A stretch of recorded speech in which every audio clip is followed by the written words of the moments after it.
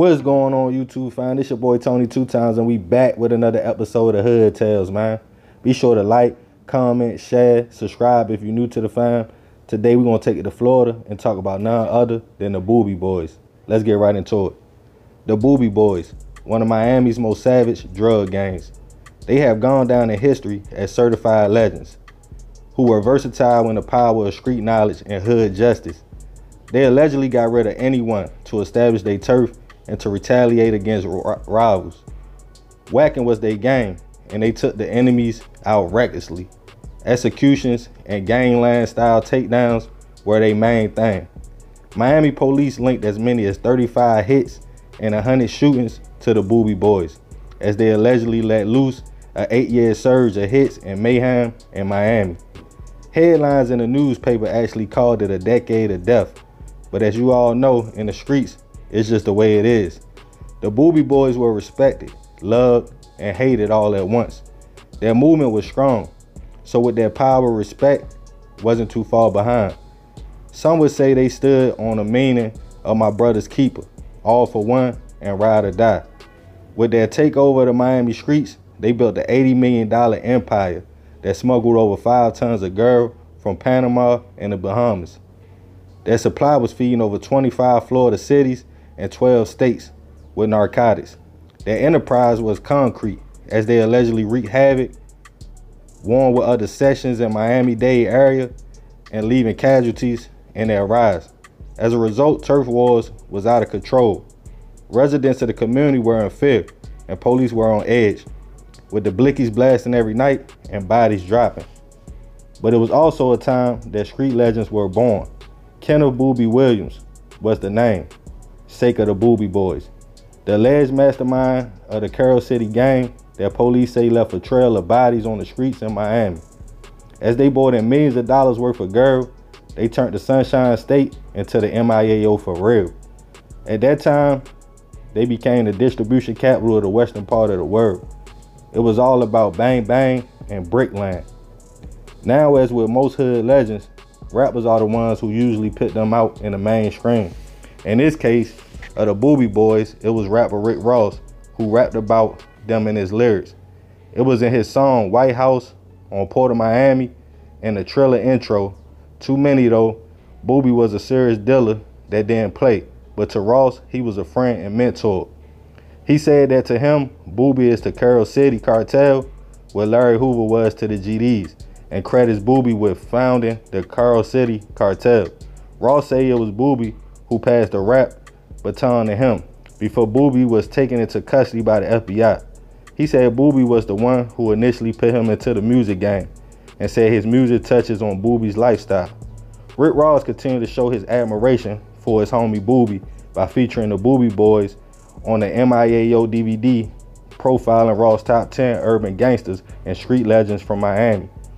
The DVD is a take of street life in Miami, with Ross showing love to his homies and glorifying their deeds and definitely representing they hood. In the video, Ross had a shirt that says Boobie Boys. He said it repped his homie Boobie. Ross said and continued to imitate his former mentor street demeanor Ross portrayed himself not only as a dealer, but a gangster as well. But most can say Rick Ross is no booby. Many would say he's just a rapper or entertainer who got his start as a CO maybe. That's how he first met Boobie. The real dudes of the rhymes have a different outlook on it all. A man named Chico said Ross is the homie, but said he was not aware of the full effect behind his actions by glorifying the allegations against him and others. Associated with Boobie and the Boobie Boys, Boobie had gotten life after being convicted of a federal firearm charge. The feds say he got 100 plus bodies. He was 27 years old. He was featured on America's Most Wanted in 1999.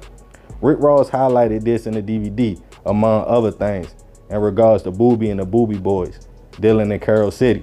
Chico went on to say he knew Ross' intentions was good, but it was bad PR for their case he said it was still guys fighting to overturn their convictions. Chico felt like it wasn't a good look, and he argued that the allegations against them were hyped up and straight up fabricated. Then a dude with mainstream exposure constantly tried to validate it with glory. He said hip hop rap music was powerful and reached beyond the rhyme of the hood. Plex, another dude brought in as an associate with the Boobie Boys, agreed with Chico, but it was lightweight, a sucker move, Plex explained, by saying because it was like validating what the police said by putting the Boobie Boys t-shirt on. He continued by asking the question, who is the Boobie Boys? Straight up, he said people didn't even call Black Boobie. We all called him Black.